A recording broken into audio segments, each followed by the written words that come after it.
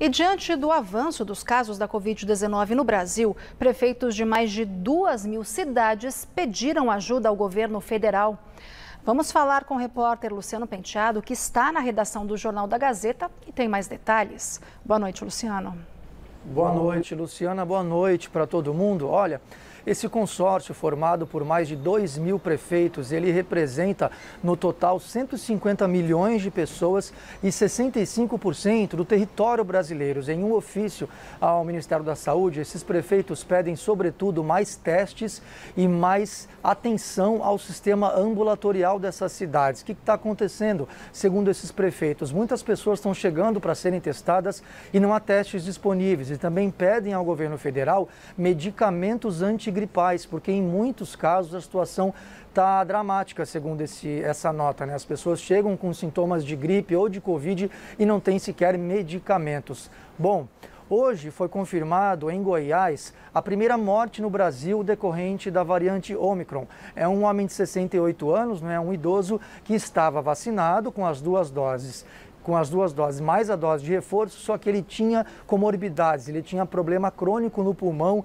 e também era hipertenso. Eu conversei com o infectologista Renato Kifuri e ele me disse que vai haver casos decorrentes da Omicron, vai haver mortes né, daqui para frente, mas não significa que essa, essa, esse novo repique da doença seja como aquele do começo da pandemia, tudo graças, claro, à vacinação. Então não significa que vai haver mais casos ou que vai haver mais mortes. Ele reforçou e ressaltou a importância e a eficácia da vacina contra as cinco variantes do coronavírus. Bom, e por falar em vacinação, o Ministério da Saúde né, tinha divulgado detalhes do cronograma para vacinação infantil, só que ainda não chegaram os primeiros lotes. Mesmo sem essas doses, vários estados brasileiros já se mobilizam para começar a vacinação do grupo infantil de 5 a 11 anos, que é o que a gente vê agora na reportagem.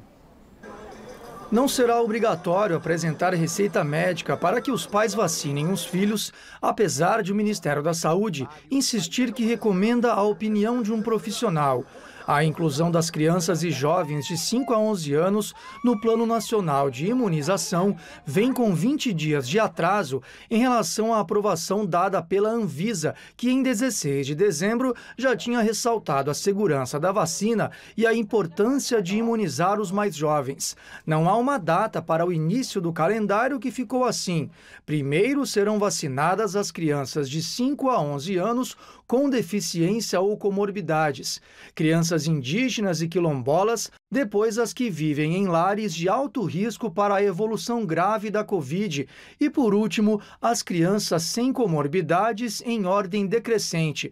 Primeiro, as de 10 e 11 anos, depois as de 8 e 9, em seguida as de 6 e 7 anos e, por último, as crianças de 5 anos.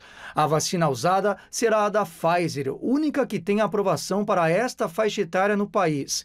A previsão é que 3,7 milhões de doses cheguem ao Brasil divididas em três lotes, sendo o primeiro no dia 13 de janeiro, quinta-feira que vem. O segundo lote deve chegar no dia 20 e o último no dia 27 de janeiro. A Prefeitura do Rio de Janeiro já fixou até uma data para o início do calendário na cidade, 17 de janeiro, com a vacinação de meninas de 11 anos. Até o fim do mês, a estimativa do governo é vacinar 3,7 milhões de crianças com a primeira dose, o que é muito pouco diante do tamanho dessa faixa etária. Segundo o IBGE, 20 milhões e meio de jovens. Além disso, a vacinação vai bater com o início das aulas em todo o Brasil, o que tem gerado em muitos pais desconfiança de mandar os filhos para a escola sem o ciclo vacinal completo, uma questão não ponderada pelo Ministério da Saúde. O intervalo entre as doses para as crianças será de oito semanas, ou seja, dois meses. Só que na bula, o intervalo sugerido pelo fabricante é de apenas três semanas. O governo aumentou esse prazo para reduzir o que chamou de possíveis efeitos adversos, citando até mesmo uma raríssima inflamação no músculo do coração chamada de miocardite. Nos Estados Unidos, apenas oito crianças americanas tiveram este problema de um universo de mais de 5 milhões de vacinados.